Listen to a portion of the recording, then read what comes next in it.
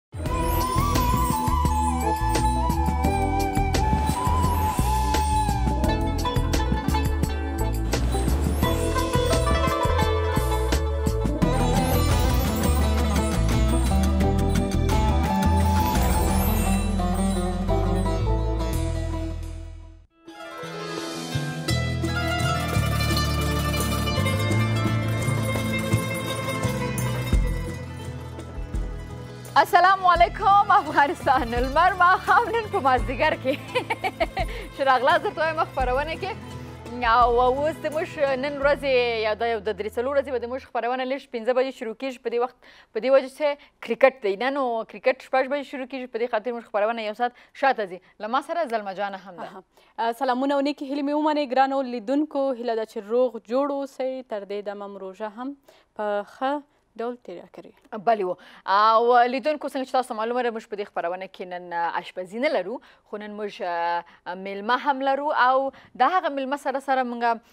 هغه ماشومان لرو چې په سوال جواب برخه کې ول موږ سره یي او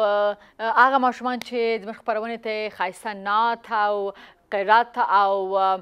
هغه ملګری چې هغه زمونږ او تاسو مرستې ته اړتیا لري هغه به ټول موږ سره نن په دې خبرونه کې او زه تاسو ته یم چې زموږ سره په دې خبرونه کې دغه ماشومانو سره حوصله افزایی یا د هغوی دا چې مورال یې پورته شي نو وړکې وړکې ډالۍ ورته لرو د ایشان د پروډکټس د شامپو د خوانه او د پرایم موبایل د خوانه هم نو دا وخت زه غواړم چې اول ولاړ شو د نن ورځې حدیث شریف وګورو بیا بیرته راستانه کیږو حضرت محمد صلی الله علیه وسلم فرمایي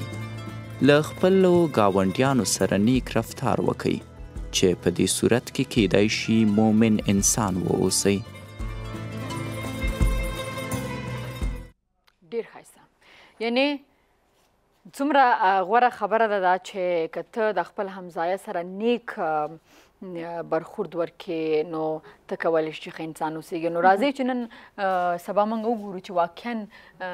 په دې خبره کې موږ څومره کامیاب استو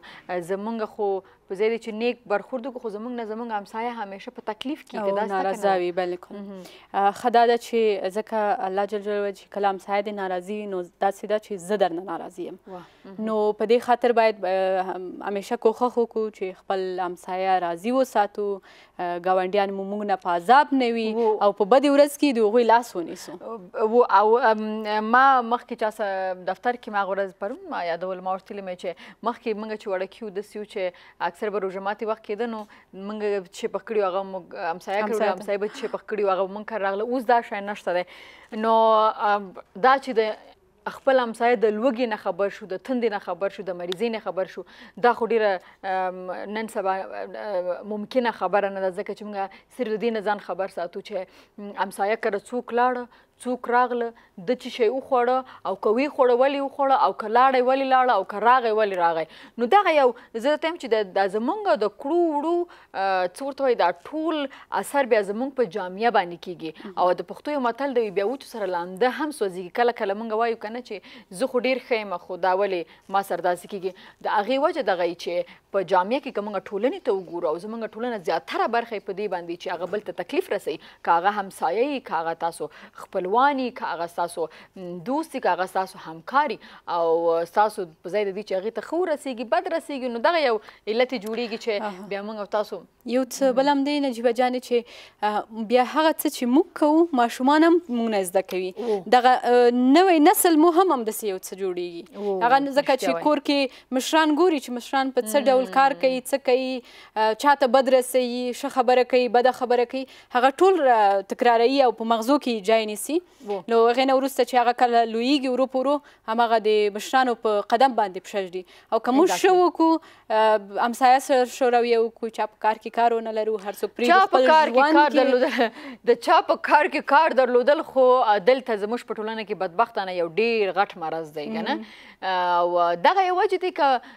بیا باید موږ ګیله مو نه کړو بیا موږ فریاد مو نه کړو چې ولې زموږ ورځ نه ښه کېږي ورځ به دله ښه کېږي چې ستا نه بل څوک راضي اوسېږي روژه دا مبارکه میاشت راځي چې یو بل ته د مینې لاس ورکو یو بل سره ښې خبرې وکړو او یو بل په زحمت نه کو بلکې یو بل ته د خوشحالۍ د موسکا او د راحت سبب وګرځيږو ښه دلته له ما سره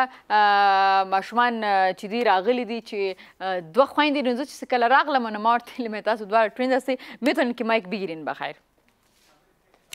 نو میتون مریم جان خوش آمدید خوش باشین خب و مریم جان برای ما بگو که روزه گرفتی یا نه راست است بله روزه گرفتی از چهرهش خب معلوم میشه گرفته گرفته آه. نه یک چیز دیگه هست نیم مثلا که عالم دیروز چی اشتکو آمده بود ما فکر کرده بود که روزه گرفته اما روزه نگرفته بودن نه باز آو خورده بودن در برنامه ما مگم شما در کدام سنس درس میخونی در سنف هشتم خب چی بر ما اردی هیچ چیز نه هیچ چیز خو نه یعنی نات آوردی قرات آوردی نات نات آوردی ما قرات بله خدا دې سی فکر وکړو چې حتما کوم ډالۍ ترې نه غواړي نه توفه خو ما برتان میتیم با جایزه خو ما میتیم و خو حرکت ما آمده کتید و اونا هم خوش آمدین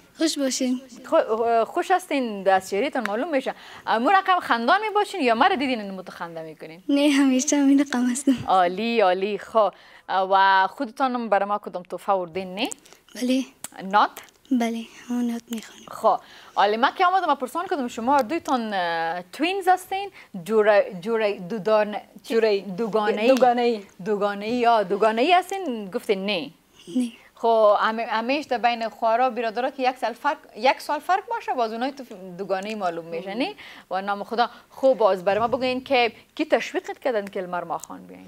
خواهرم خواهرت خواهرت از شما کلان هستن بله آفرینشان یک سلام خاص نمو رقم خواهرا که خواهر کلان جای مادر داره برادر کلان جای پدر داره و خوشبخت هستن اونا که خوب خواهر کلان و خوب خواهر برادر کلان داره نی؟ بله. صحیح است خو و این می آلی خواهر ته می بینه چی چی چی برش گفتنی داری؟ به خاطر که او خواست که اینجا بیای تشویقت کرد نی؟ ما بسیار ازش خوش هستم که مرا ده ای سرد رسان بسیار خوش هستم دیگه خو و چی کدام گپش که از خواهرت زیاد خوش داری؟ از خواهرم؟ مرا میگه خور خوره کلا زیاد قار میشه میترسیش از ما خو میترسه از ما که خورد هستن اونا میترسن نمیترسی خو د می ته بزو زلمه جانې بیا بیرته د مینه راستانه کیږو چې راستانه شو لخیر سره بیا بدوی سره د پرایم موبایل د خوانه چې کوم زمونږ بل سیګمنټ د سوالونو جوابونه اغه ته بیا لخیر سره ادامه ورکوه نو